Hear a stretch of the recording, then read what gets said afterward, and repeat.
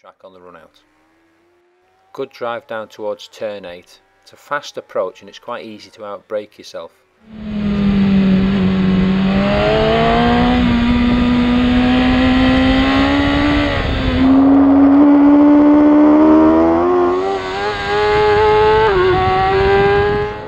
I've raced here and done some track days too.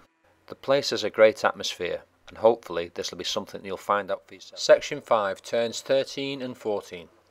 Then have a good look over your right shoulder for traffic. Keep accelerating and stay well over to the left as you come out onto the circuit. So short shift, ease back on the throttle without braking. The left hand side of the track by the time you go under the first gantry. Throttle off and brake hard. Okay, let's see that section run again at normal speed.